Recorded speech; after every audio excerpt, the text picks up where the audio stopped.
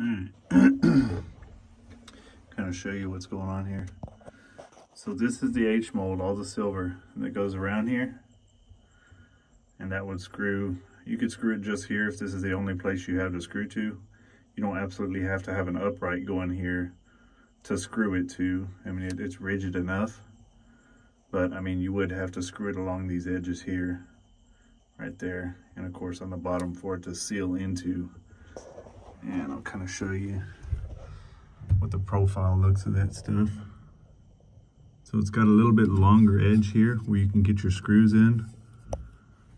And uh, this is quarter inch Lexan. I use quarter inch because it's a little more rigid. It doesn't flop in the wind and it fits in this groove a lot better when it's wrapped in Velcro. So I'll show you here. I mean, it holds itself up seals it's nice and quiet.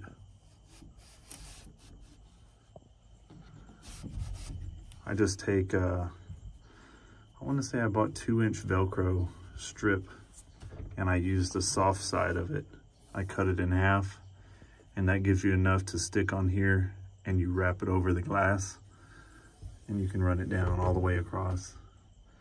You don't absolutely have to put it on the back side here. I just, I bought extra because I didn't want my windows scratching against the wood. And you can kind of use it to wipe the dust off of them when you pick it up. But uh, yeah, that's pretty much it. There you have it.